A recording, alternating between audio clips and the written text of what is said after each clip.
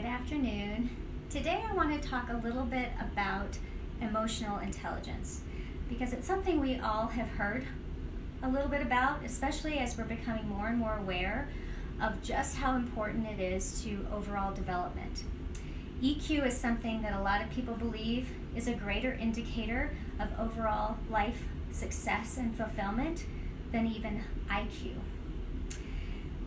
And that's, that's largely because it has everything to do with how we interact and relate to the world and people around us. It has everything to do with how we navigate through the ups and downs of life and ultimately how we build compassion and empathy.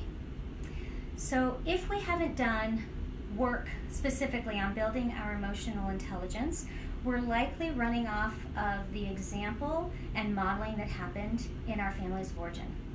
Now, some of you hear that and think, great, I had great examples and parents who really were comfortable with emotion, expressed emotion.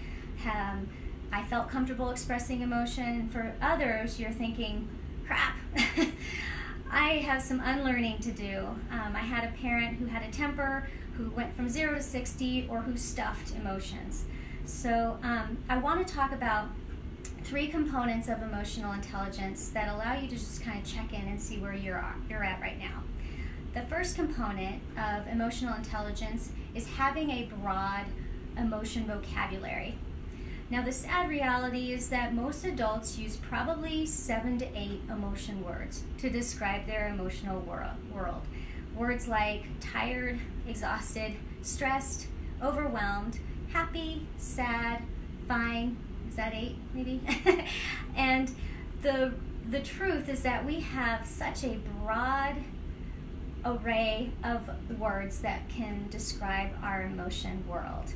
And if we get better at building that vocabulary, what we do is become better emotional emotional communicators. We're simply giving people much more information and giving them much more de- detailed information about what we're feeling.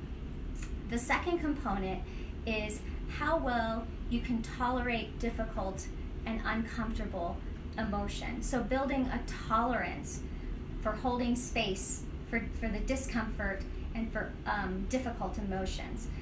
This is so important because a lot of the work I do with couples is helping to build that ability to tolerate difficult emotion for a longer and sustained period of time while still engaging with constructive dialogue.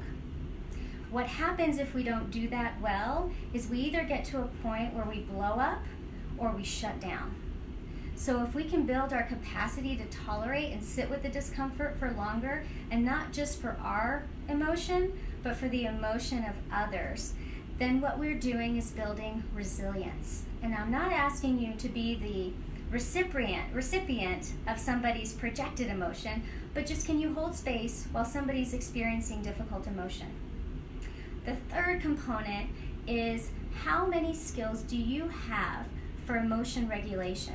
So while we're working on building a tolerance for difficult emotion, we also want to be able to recognize when we've gotten to a place where we need a timeout, where we need some space to reground, regroup, to ground and to regroup, and to take care of ourselves so that we can come back in a more constructive and productive way.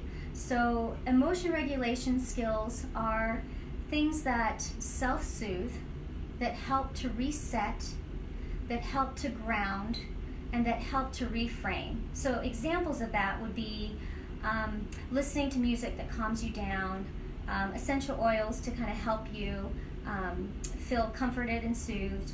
Uh, going for a quick walk around the uh, around the neighborhood, um, doing something physical for a period of time. Uh, grounding would be meditation, yoga, prayer. So, all of these are examples of emotion regulation skills, and we want to build our toolkit of, of emotion regulation skills that we can turn to when we need them. So, the three components that I just brought up are building an emotional vocabulary, tolerating difficult and uncomfortable emotion, and building upon our skills of emotion regulation. If you work on those three components, you are becoming more emotionally intelligent. One thing to consider for those of you who are parents, you are your kids' emotion coach. So, no time like the present to work on these things now, right? My name is Marcella. I'm one of the senior therapists at Flourish Counseling and Coaching, and I thank you for tuning in. Bye bye.